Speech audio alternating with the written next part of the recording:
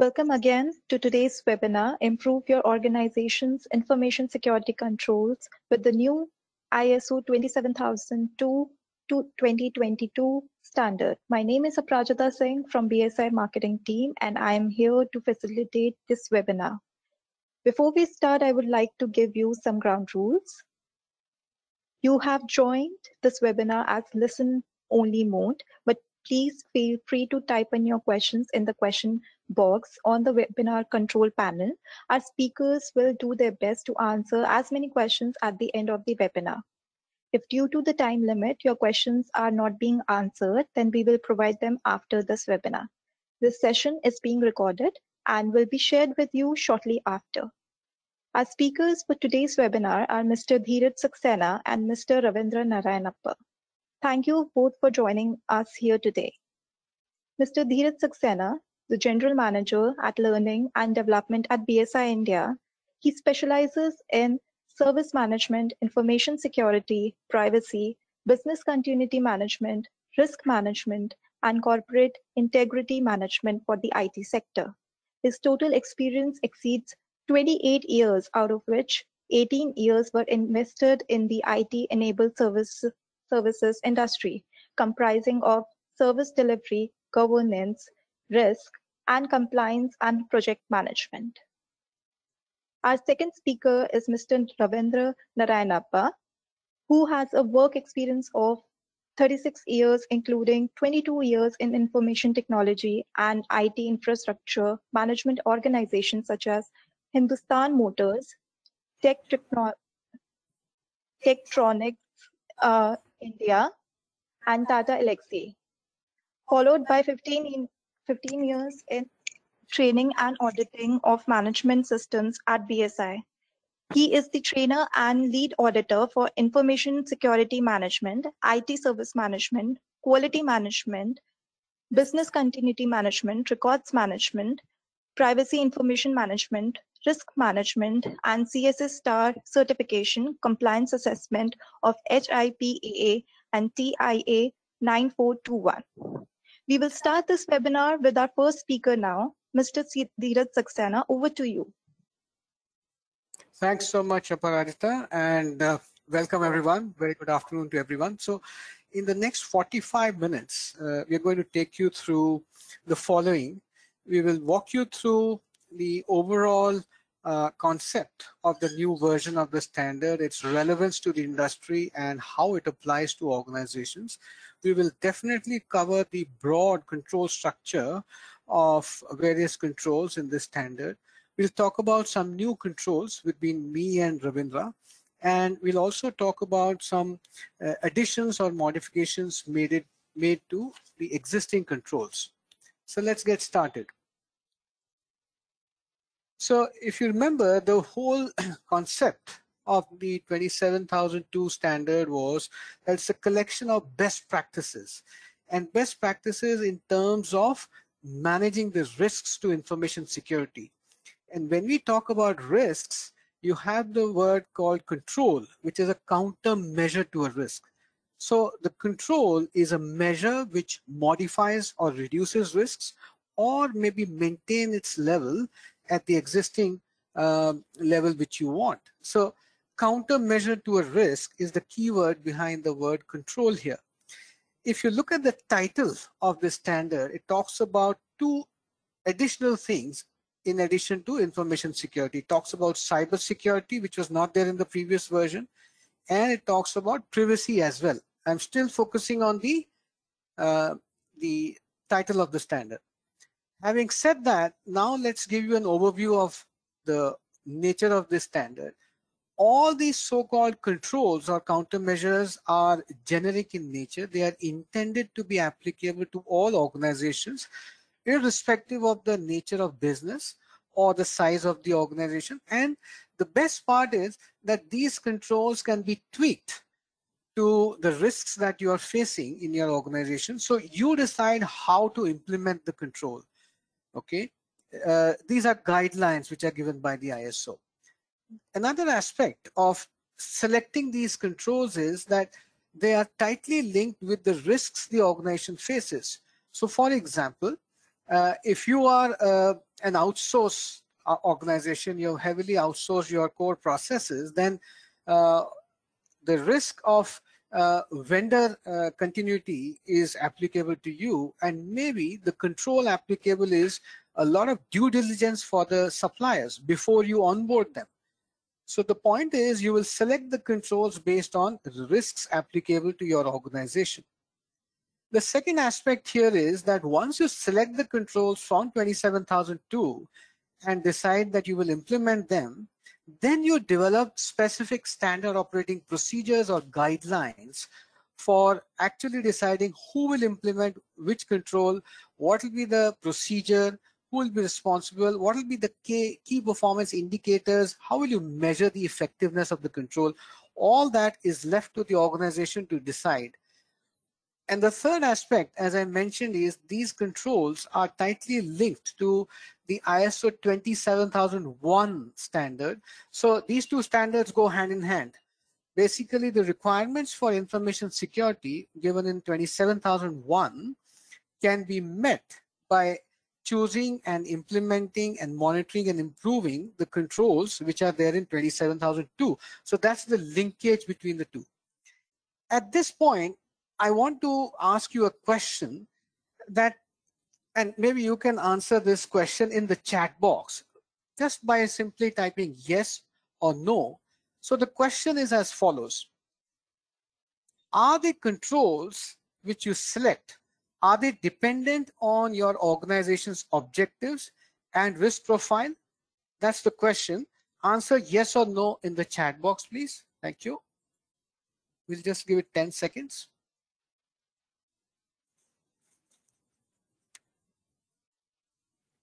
The question is, the controls which you select, are they dependent on your organization's objectives and risk profile? Yes or no? Okay, so we're getting some responses. Okay, so the answer is yes, definitely there's a tight linkage between the controls that you select based on what your organization's prerogatives are. So for example, if you are an organization which is bound by data protection laws, then you are bound to have controls related to privacy and you select them accordingly from the 27002 standard. Let's move on to the major clauses in the standard. So there are four major clauses. If you look at the structure of the standard, Clause 1 talks about introduction, then scope, then you have normative references, and then finally terms and definitions. And then you have clause 5, which talks about organizational level controls related to organization-wide applications. So these are related to governance mainly. You have around 37 odd controls, out of which three are new and 34 are existing. Uh, these are organization-wide controls or administrative controls primarily. For example, I mentioned vendor due diligence, for example, organization level information security policy, for example, access control. These are all organization level controls in clause 5. Then we go to the next clause, which is clause 6. Now here, for those who remember the previous version of 27002, which was released in 2013, there were some people related controls in 8.7 and all those are existing right now in clause 6 so for example uh, background screening roles and responsibilities related to uh, information security and so on and so forth. Awareness and training these are people related controls which are there in clause 6 then you look at clause 7 these are the physical controls and uh, one new control has been added here. Now, physical controls, for example, perimeter security, working in special areas, uh, physical access control, and so on and so forth, or reconciliation of access rights. So these are the physical controls that we have in clause 7. And then we have the last clause, which is clause 8, and this has got major modifications. Now, clause 8 is a group of technical controls and you have seven new controls and we are going to walk you through these controls uh, the new ones So you have 34 controls in all in clause 8, out of which seven are new. So this is the overall, uh, you can say, clause structure of the new standard. Having said that, my question to all of you is, and if you again can use the chat box to answer yes or no, can your organization implement additional controls apart from those given in 27002? Yes or no? Would you like to answer? Can you have additional controls? Yes or no? So we're waiting for the response in the chat box from participants. Let's have some responses, please.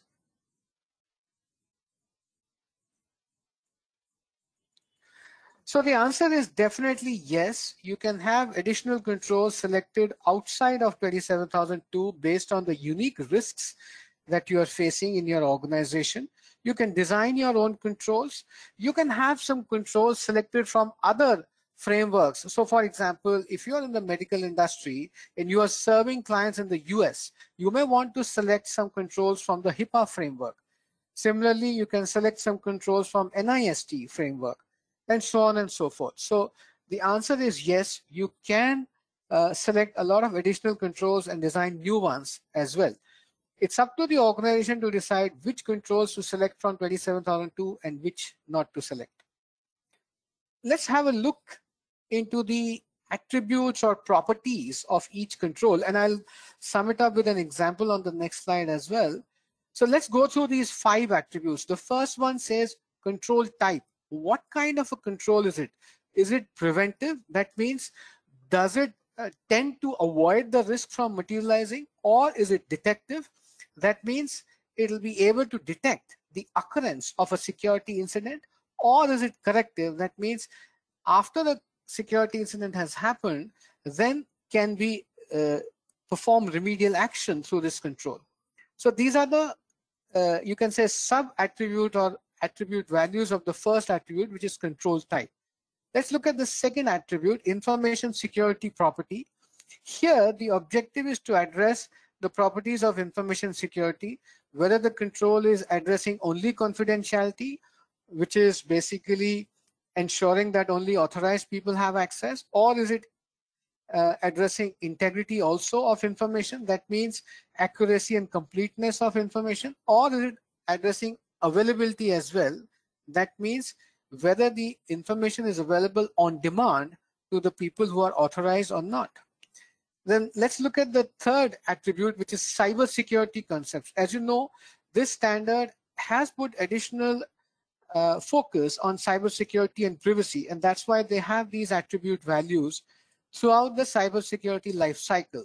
So does the control identify the risks or help uh, define the approach of how to manage the cybersecurity risks, or does it protect? That means does it ensure uh, service delivery, smooth service delivery? How does it do that? or does it help to detect a cybersecurity incident and respond to it? And then once you have responded, how do you restore back to normalcy? Can it help us in that also? That's the third attribute value. Then you have operational capabilities. So Uh, these are some, for example, around 15 of them. And they talk about asset management, application security, network security, business continuity, vulnerability management, and so on and so forth, and supplier relationships also.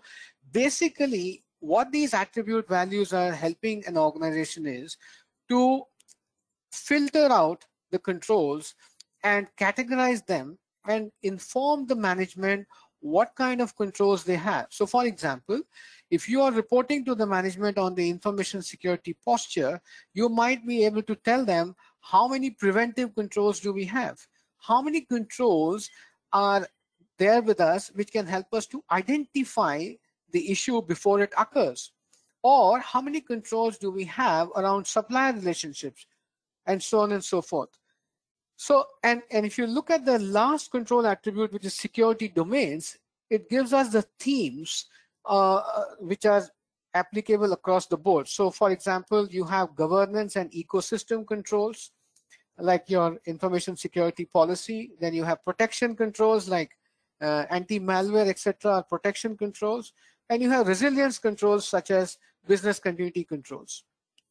So basically the idea is that these attributes help to analyze what type of controls do you have. And the organization is not bound by these attribute values. You can uh, choose to have your own attribute values altogether. So that's the flexibility. So here in this slide, we're just demonstrating the applicability of these attributes for you. We've taken one control as an example, which is the most fundamental control, policies for information security. That's the first control. There are total 93 controls. So this is the first one, which is 5.1, policies for information security. So let's go through each of the attribute values. It's a preventive control. Why? Because information security policy is meant to set the expectations around information security objectives, information uh, security approach to risk management and governance. So tends to prevent uh, issues by telling the people that this is what we want from you. If you look at the information security properties, a policy of information security is addressing all three aspects of information security, whether it is confidentiality or integrity or availability. If you move towards the right side, cybersecurity concepts helps you to identify the risk management approach for uh, various types of cybersecurity risks as well. And then if you look at operational capabilities, primarily a policy is around governance or control of the entire information security management system. And if you look at the security domains or themes, again, it says governance and ecosystem as well as resilience. Resilience means the, the power to bounce back, right? So this is how they've designed these attributes for the first control. Apart from these attributes, you have other elements which have been expressed in the 27002. So they are, you'll have a control title. That means the, it starts with a title. For this one, it's policies for information security. Then you have the purpose, uh, which was earlier called the control objective. Then you have guidance on how this control can be implemented and other supplementary information as well. So that's the way controls have been listed here. Now let's come on to the new controls. So there are 11 of them. There are total 93 controls and the good news is that they've merged a few controls, they've modified some controls and uh, they have reduced from 114 to 93 controls. If you look at this list, uh, it tells you there is some amount of uh, emphasis on cybersecurity in terms of threat intelligence, in terms of information security for cloud services, in terms of ICT readiness for business continuity. And I'll just touch upon these controls. We'll go deeper into all three of them in a short while. And then I'll request my colleague Ravindra to touch upon the other ones, which is configuration management, data masking, data leakage prevention, all related to technical controls and then monitoring activities, web filtering, and secure coding as well. We'll talk about some of them in the subsequent slides. So let's go into these controls. The first one, threat intelligence. Now, if you look at the control type and the cybersecurity concepts, it's indicating that it's applicable throughout the cybersecurity lifecycle. That means A, it helps in preventing the incident. B, if the incident happens somehow, helps to detect it and then uh, helps you in taking remedial actions also because it's corrective in nature as well. And if you look at the cybersecurity concepts, again, it's going through the entire cybersecurity life cycle, right from identifying to detecting and responding to it also. So there's a life cycle approach here in this control.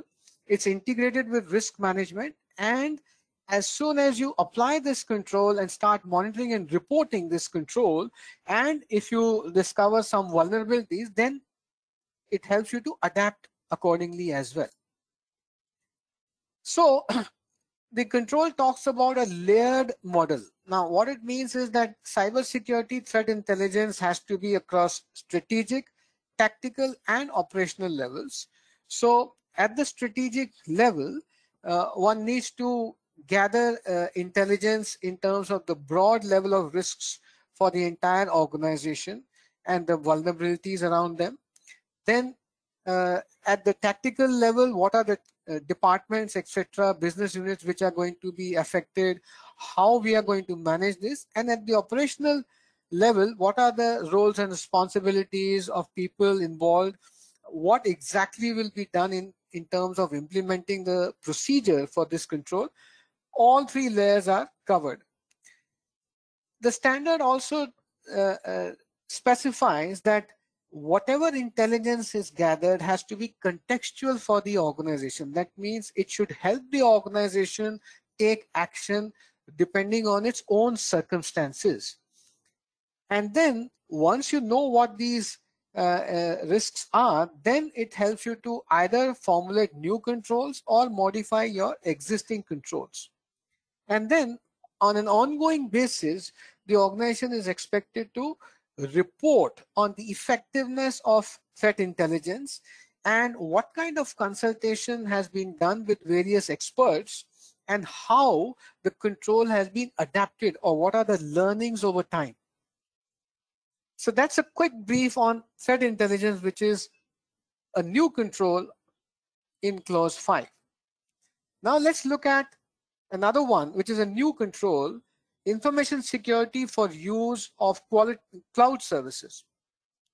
So if you look at the attributes, again, it's a preventive control. That means before even you enter into a cloud uh, services agreement with someone, what kind of due diligence would you like to do?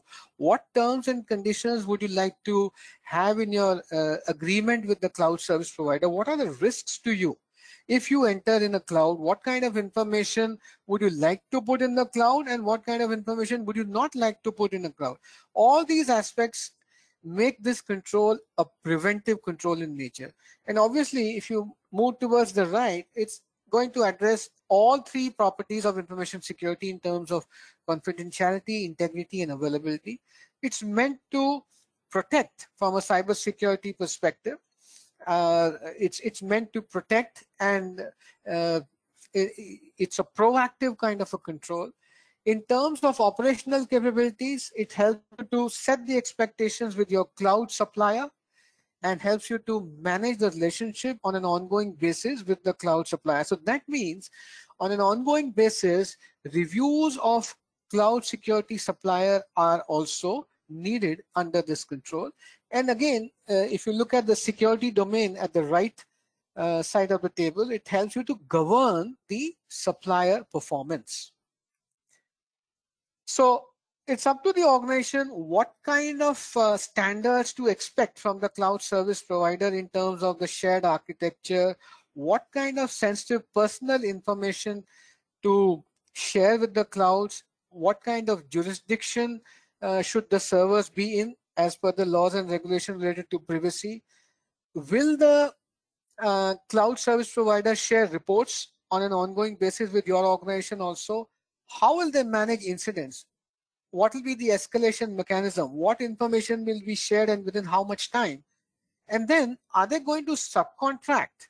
Is your cloud service provider going to subcontract with another provider? If yes, will they inform you or not? What are the terms and conditions. And then if you want to exit, how will they securely dispose of your information? How will they return your secure information? All those uh, aspects should be preferably there in your agreement with your cloud service provider.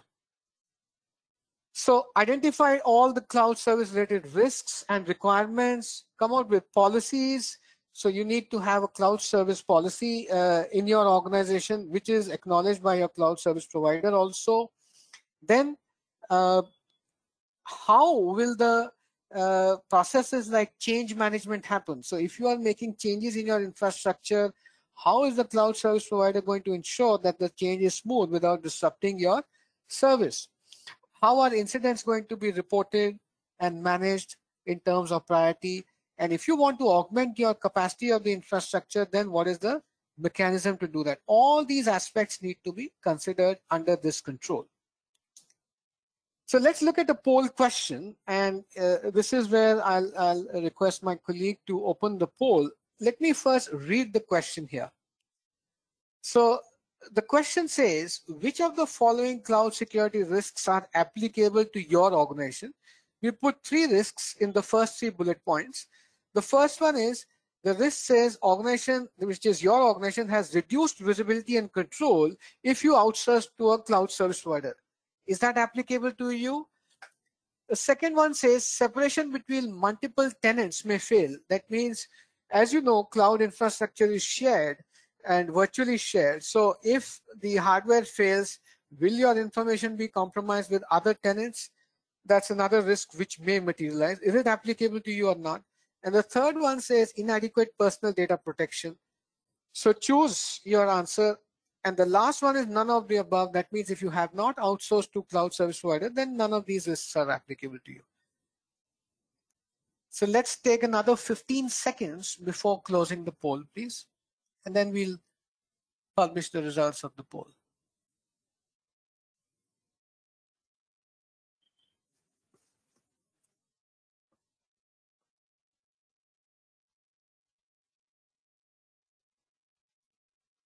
Okay, let's see.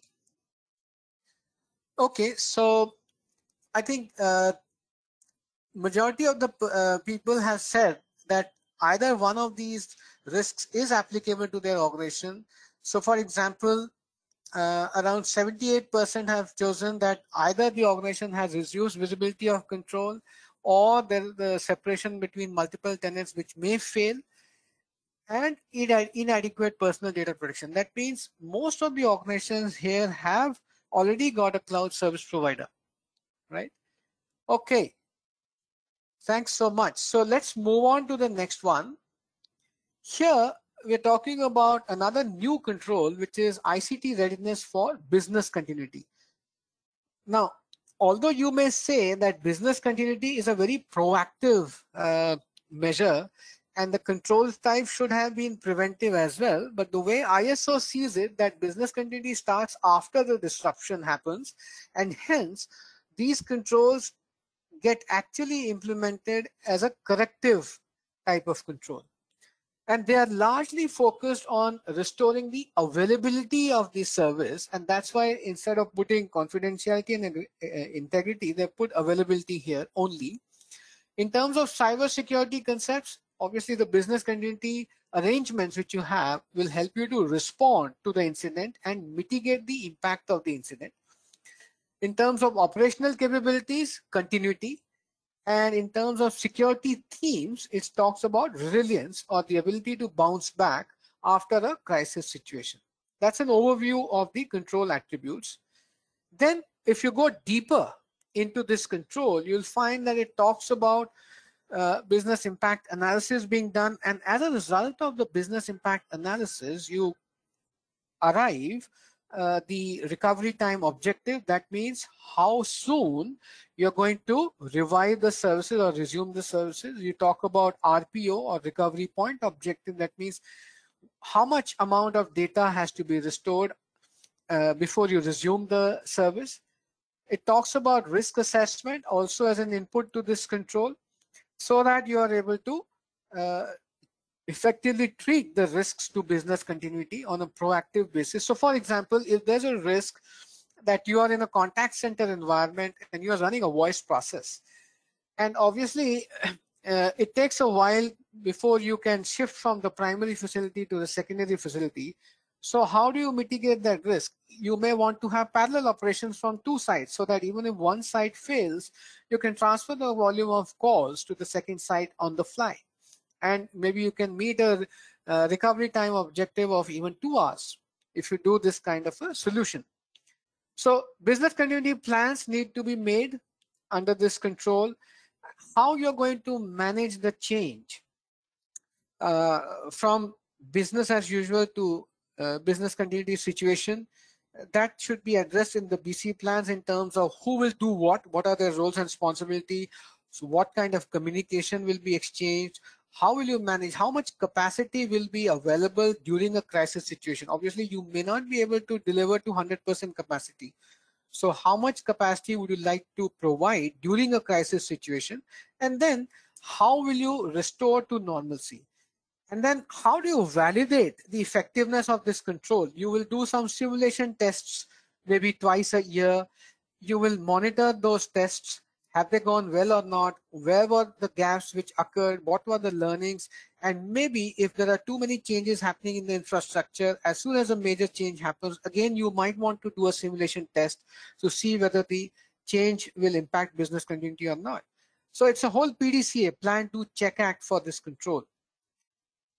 And these are some new, uh, sorry, not new, but some of the updated controls. Now, if you look at the uh, matrix here, if you look at the columns having black font, they are the controls in the previous version. The ones in the red font are the controls in the new version, right? So we have given you a mapping here between the new and the previous controls, right? Now, some of those controls which I'm picking up here, just to give you an overview.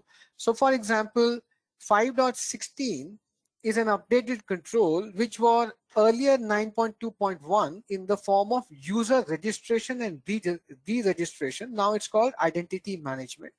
And obviously there are some additional focus areas in terms of uh, uh, how will you validate the authenticity or maybe if you are using external identities such as if you want to log in using your Google identity how much trust to be allocated to those external mechanisms these points have been added there.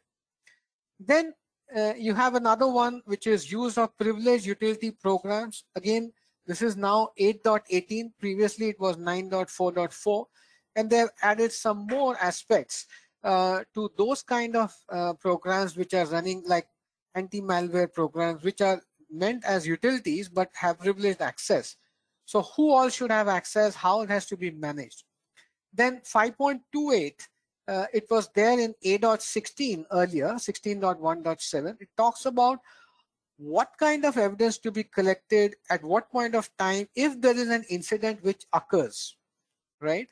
And, and then how to learn and adapt from that evidence in the shortest possible time. Then privacy and protection of personally identifiable information 5.34 uh, earlier it was briefly touched in terms of a.18 domain and now they have put more aspects in terms of data masking etc which my colleague Ravindra will cover in a short while from now. So let's have another poll question and the question is like this. What's your opinion about the controls which we have discussed so far and I'll read out the options for you. The first option, you have to select only one of them. Are all these controls applicable to all organizations, irrespective of product or service? Or relevance of these controls depends on the nature and extent of the risk which your organization is facing? Or you do not know. Kindly choose one of these. Let's keep it open for 15 seconds.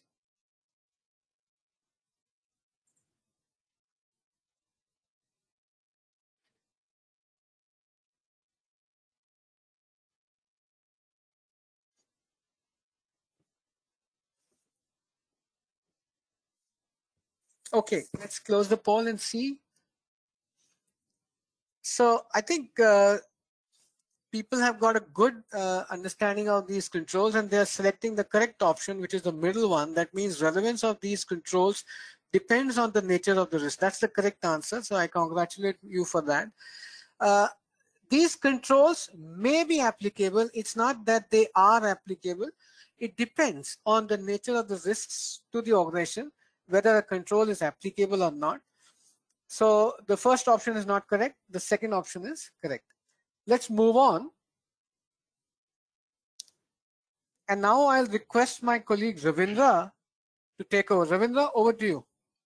Yeah, thank you, Dheeraj. And uh, well, there are seven new uh, controls under uh, technology controls.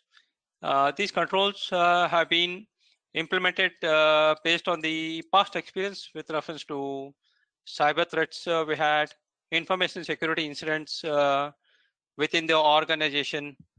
They found that uh, these areas were not very well uh, uh, addressed in the risk assessment, though they were implied in the previous standard.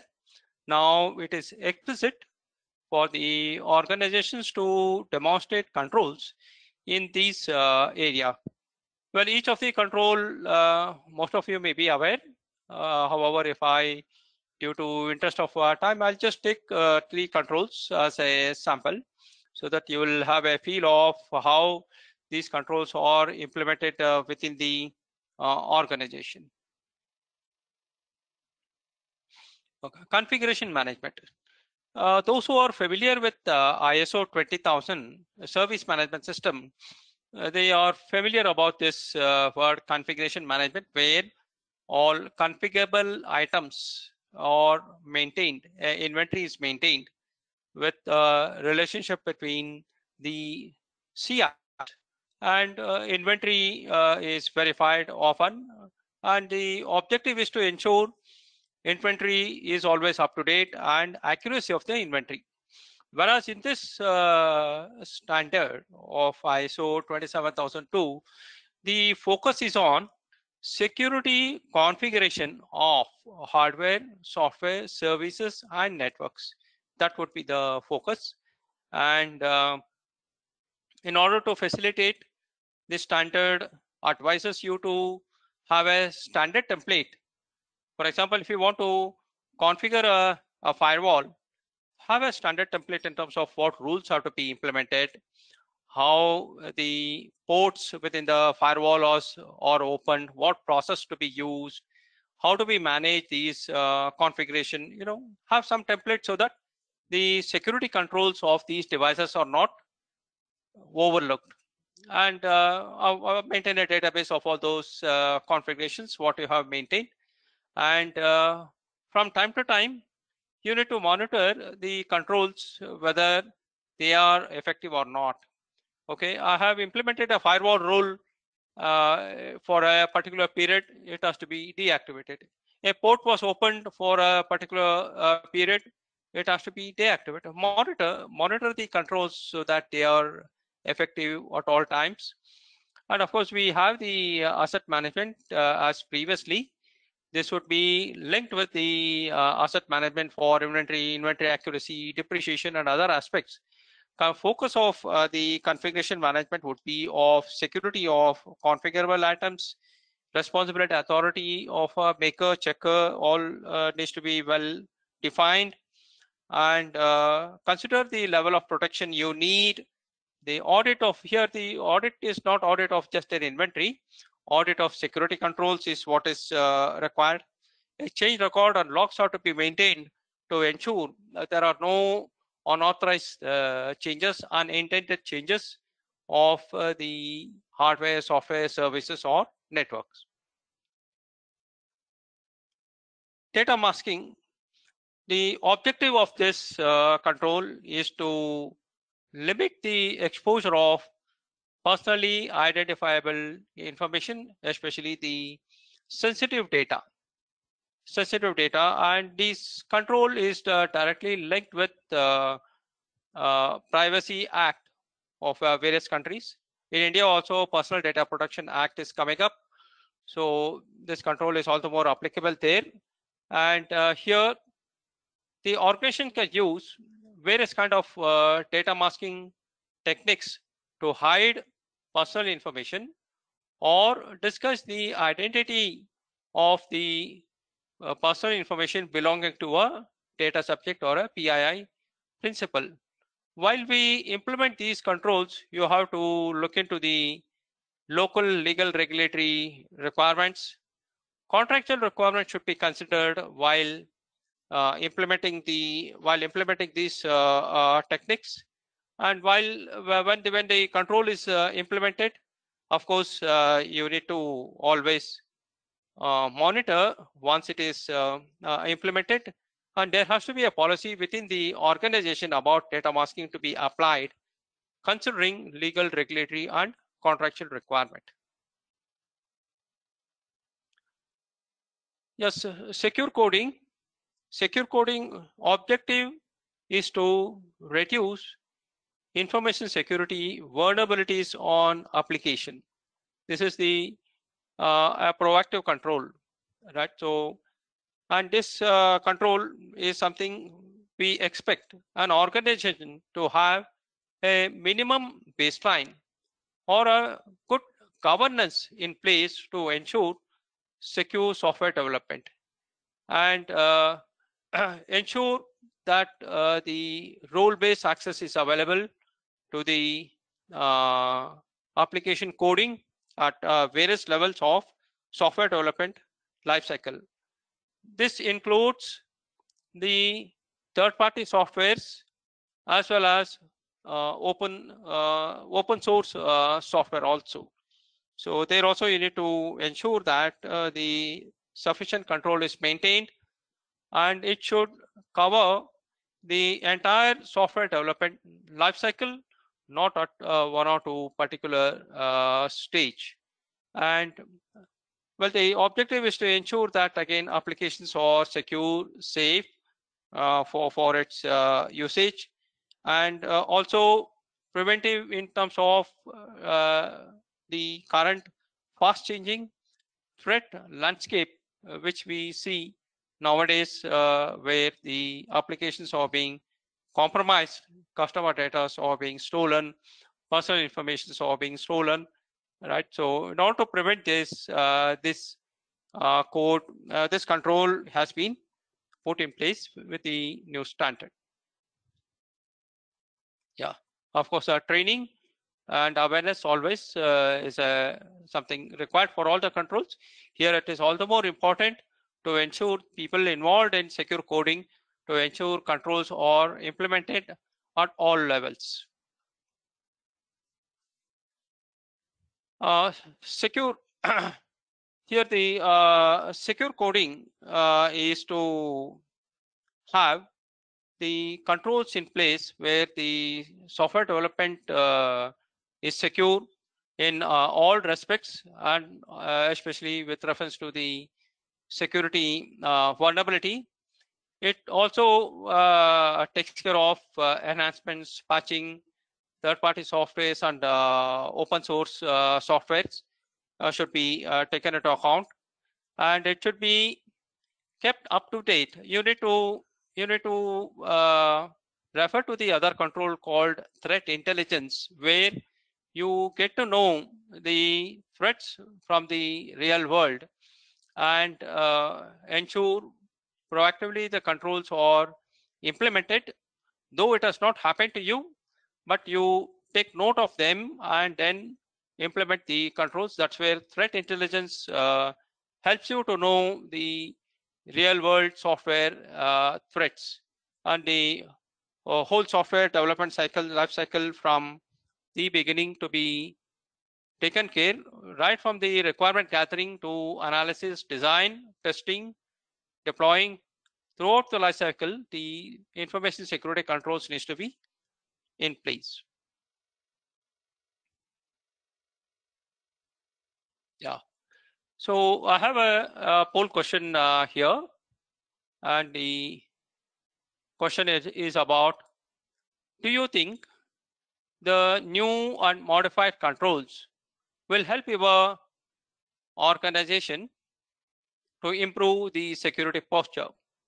Select one of the one of the option. Yes. Maybe if our management agrees, yeah, some management may not agree, so you may have to live with the residual risk. Uh, no, it does not make any. You you feel it doesn't make any difference. Uh, so let me know from you in next uh, 15 seconds.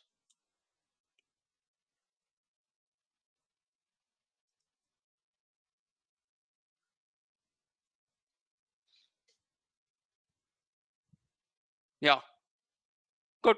Uh, yeah, good reply. I can see that uh, it uh, enhances, and that's one of the objective of having modified and uh, updated the uh, controls and therefore definitely it goes a long way enhancing the security posture of the organization.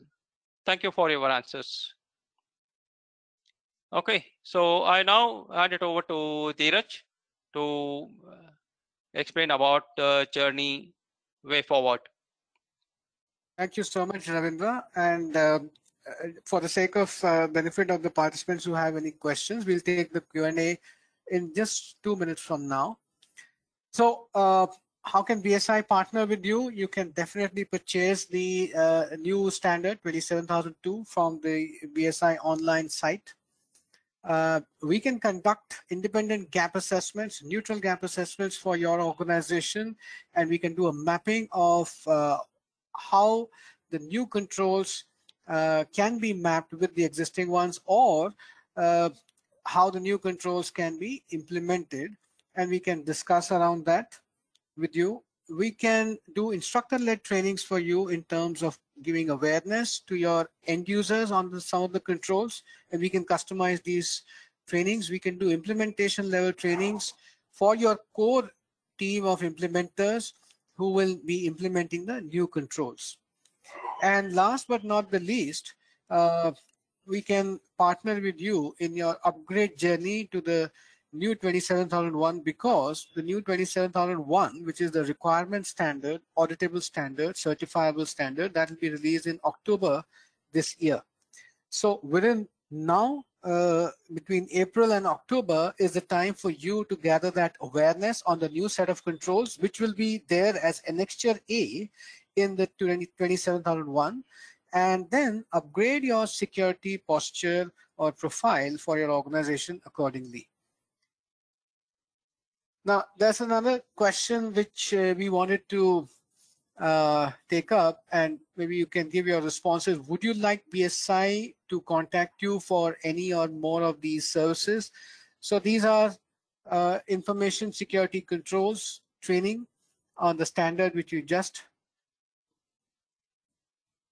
uh, presented, or you want a, a ISMS based uh, training or certification on the 27001, the previous version. Then uh, are you also interested in our privacy information system based training or certification or our cloud based training and certification? So you can select whichever options you want.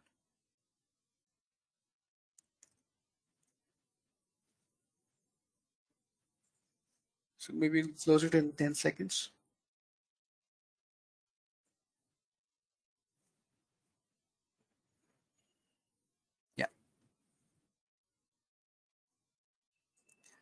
Okay, so I think most of the people here are interested to know more about the 27002 training, which we've briefly uh, given an overview. And thanks so much for your responses. We'll get back to you uh, with a survey questionnaire in which you can put in your email, etc., or you can write to us also, and we will definitely address your queries.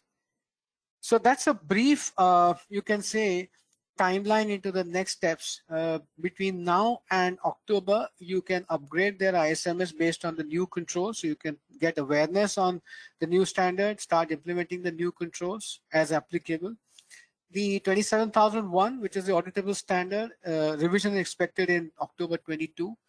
And for those who want to, uh, for those organizations who are interested in certification, we will come up with a transition plan after the uh, 27001 is amended in October. And uh, in the meantime, you can always take trainings from uh, BSI. Uh, with that, we will go to the Q&A. So I'll request my colleague Aparajita to have a look at the chat box. If there are any queries, we are welcome to, uh, we want to answer them right now. And if there are some queries which can be answered later, we'll do that later. Thanks. Over to you, Aparajita. Thank you. Thank you, Dheeraj. I'm sure this was very insightful for our viewers. So we have received quite a few questions from our audience. We'll try to take them, as many of them. I'm putting the questions in the chat box so everyone can see them. Okay, uh, the first one is addressed to you, Mr. Dheeraj. Have one query on my current organization, which is ISO 27002 to uh, 2013. Is it mandate to upgrade to 20, 2022 next year. Okay, so since you're mentioning about next year, you will have a transition timeline of at least two, three years, starting from October 22 this year, when the 27001 is revised. And that's the auditable standard, and that becomes applicable for certification. My point is, so you will have ample time, at least two years, starting from October 22 to upgrade your organization-wide certifiable ISMS. Hope that answers your question, please. Okay, thank you. Um, the next question is, um, isn't ISO 27002 and cloud secu uh, security expenses uh, is very expensive for SBMs? What is the option for them? Kindly advise. So if you're talking about the standard, the standard is not at all expensive in uh, in terms of the organization expense. It's not. And uh, in terms of certification per se, maybe you can get in touch with the BSI advisor and they will be happy to give you a, a, a proposal for certification as well. And then you can decide accordingly. Yeah, also I would like to add here is that for uh, SBMs, uh, we have a kind of a package where they can, it's affordable and they can uh, also go for certification. So if you contact our BSI advisor, you will get a suitable uh, solution which for SBM also. Thank you. Uh, the next question would be,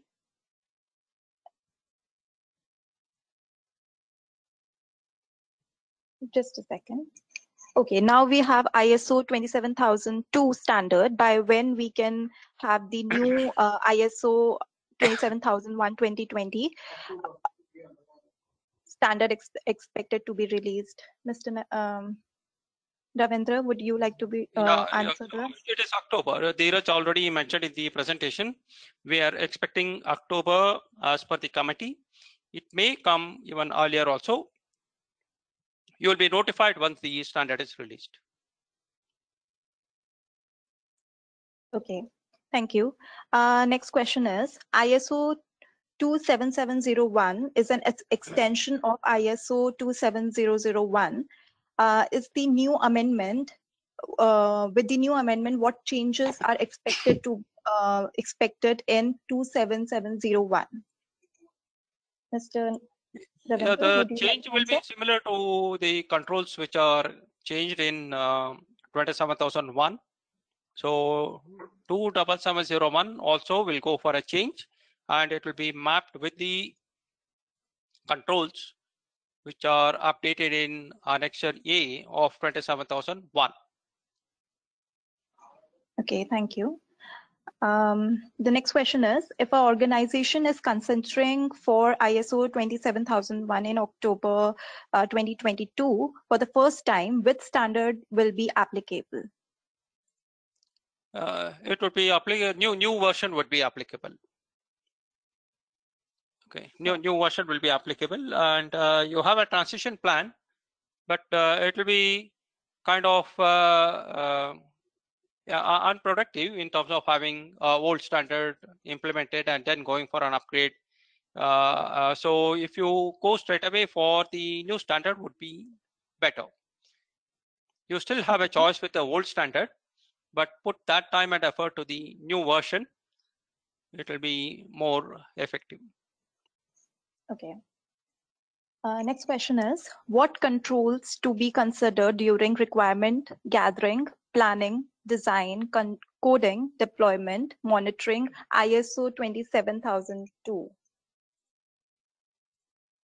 Uh, for that, you have the uh, transition plan and steps for transition and uh, implementation. While you uh, contact our BSI advisor, you will get a brochure with a whole lot of steps. The steps will start with uh, procuring the standard, understanding the controls, undergo training, gap assessment, and uh, final certification is uh, what is being listed. You will get all that information when you contact our BSI advisor.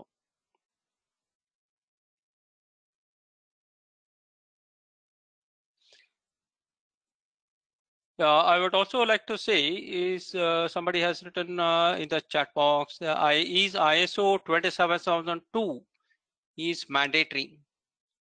ISO 27002 is a guide guideline for implementation. ISO 27001 is a auditable and uh, used for certification audits is the standard of ISO 27001. So 27002 is a guideline. It will help you how the controls to be implemented. And you can also use other controls. There was also mentioned that you can use other framework, NIST, COBIT, CSA, CSA CCM, right? So uh, HIPAA information security controls can be used. Okay, thank you. Uh, we would be taking the last question for this webinar. Uh, Mr. Dheeraj, if you can answer how ISO 27002 different this time from S, uh, SOC2. Um, yeah. So uh, the SOC 2 uh, is a different framework altogether, uh, primarily based for the US-based geographies. This one, ISO, as you know, is internationally acknowledged. More than 75% countries in the world have given a yes for it. So it is much broader framework. And uh, if your clients are based out of US particularly, uh, or are needing the SOC 2 certification or audit, only then you should go for it. Otherwise, de facto, 27001 is the auditable standard uh, for information security, which is acknowledged worldwide.